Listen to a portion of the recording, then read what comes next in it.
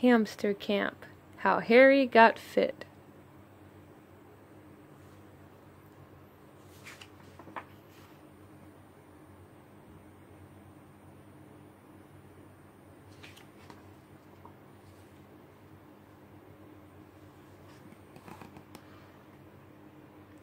Harry craved his candy. He adored his pop and fries. He liked to laze around the house and hated exercise. I have a feeling it's going to be one of these rhyming books. Yeah, I think so. His parents weren't much better. So tired when work was through, it seemed easier to sit than find healthy things to do. It hadn't happened quickly, just a little every day. A pizza ordered in or two, TV instead of play.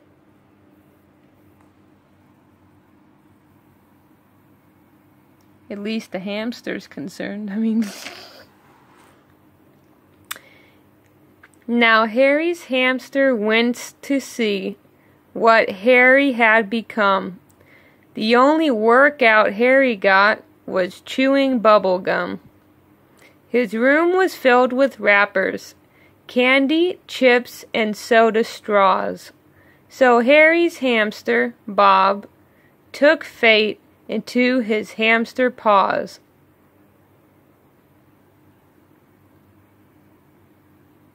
I'm guessing that's a a phone or something in his hand. oh man.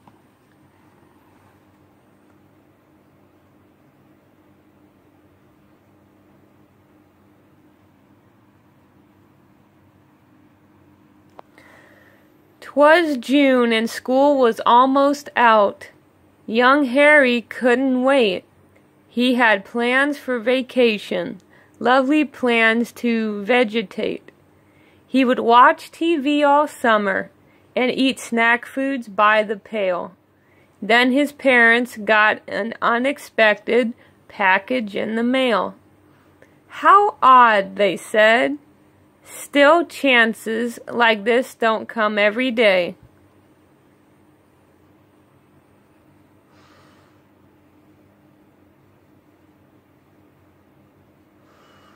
So they told Harry, Lucky you, we're sending you away. Not fat camp, Harry stammered. Thoughts of grueling exercise, jumping jacks, long runs, and chin ups made tears well in his eyes.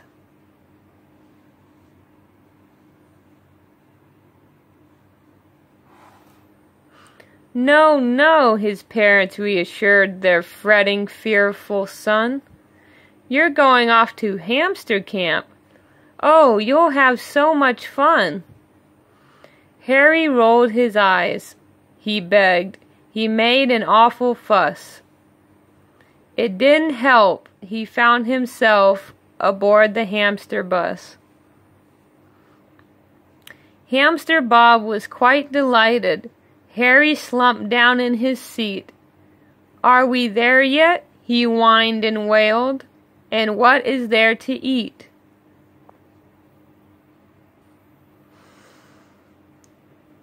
The bus arrived. He rushed outside, then saw a flash quite scary. When he looked down, not very far, poor Harry was, well, Harry. The campers now were hamsters. They ran squeaking here and there. They left their bags, for hamsters don't need labeled underwear. Goodness. What the heck?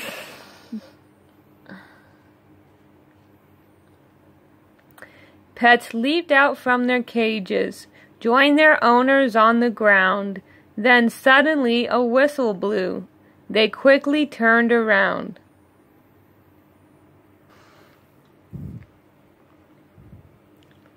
Hardy hamsters wearing t-shirts led the campers all inside. We have a month of fun ahead, the hamster counselor cried.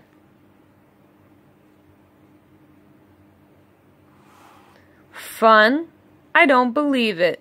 This is awful, Harry said.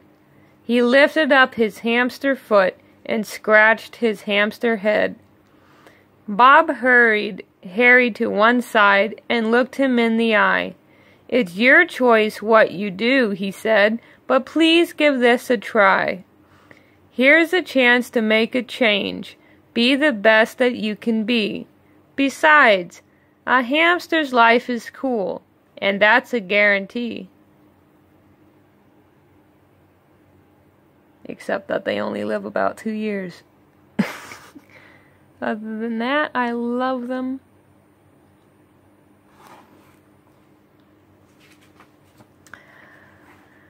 At sunrise, campers woke up to the whistle's high pitched call. They raced to get to breakfast, each inside a plastic ball.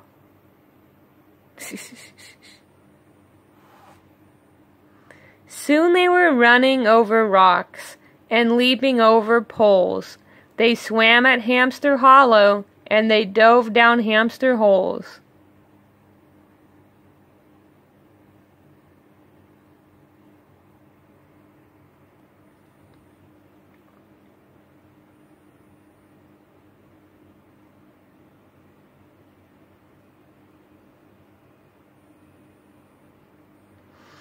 Their games were just amazing. Harry couldn't get enough. Soon he found to his astonishment that he was getting buff.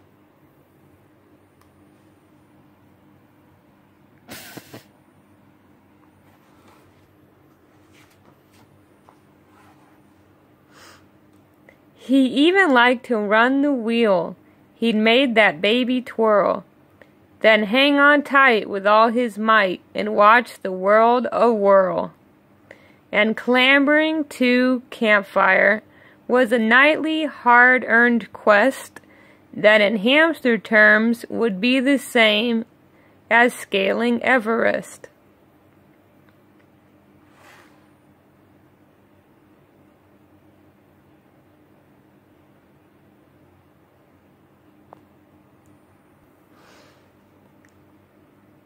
Junk food? He didn't miss it.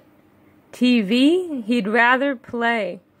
With Bob, he swam and climbed and rolled all hours of the day.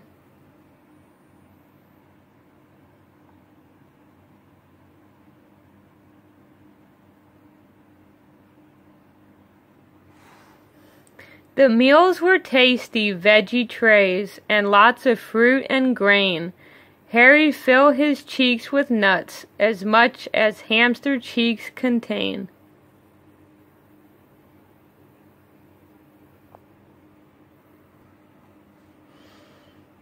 The weeks zipped by at lightning speed. Then one night, to Harry's sorrow, the hamster counselor told the group, You're going home tomorrow.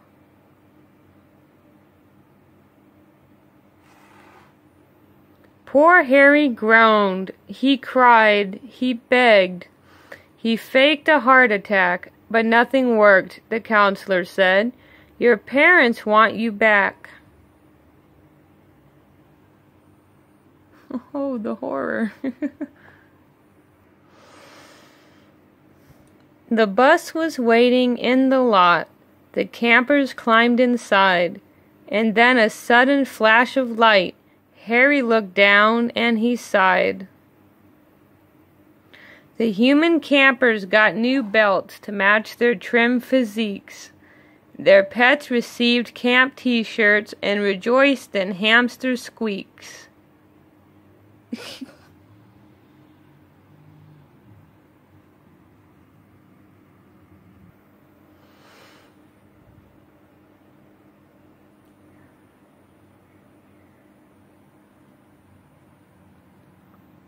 The bus ride home seemed far too short. They watched the camp recede, then squeaked and sang and ch- chatted as they munched sunflower seeds.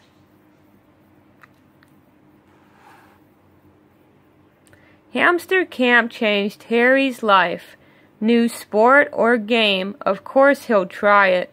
He runs and plays, spends time outside, and eats a healthy diet.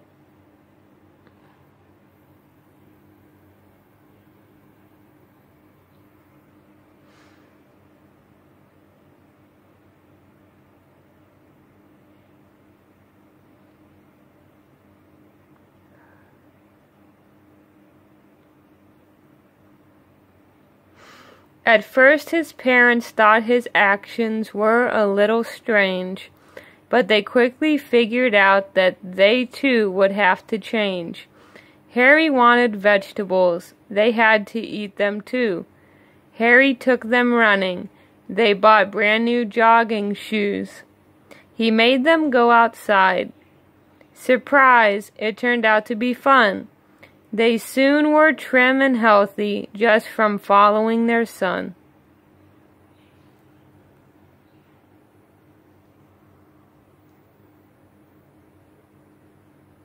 And the hamster.